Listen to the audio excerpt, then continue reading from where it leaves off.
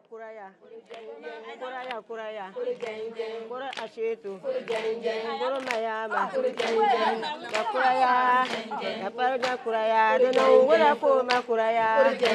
Kuraya kuraya. Kura ashetu. Kura mayama. Sato pango swale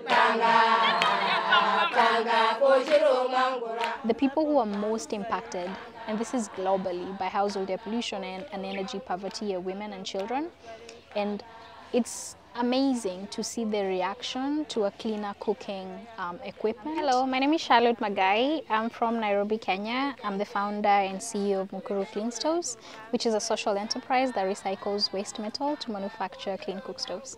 I'm in Tamale, northern Ghana today to distribute cook stoves to um, women who lived in this community. My name is Violet and I'm the founder and CEO of Skin Gourmet, where we make raw handmade skincare sourced from the wilds of Ghana and it's so pure that you can literally eat it. This community has been great with supplying us with not just shea butter, but in terms of being really great partners. They've always been there for us. It just makes sense that if we get the chance or opportunity that we can also be there for them.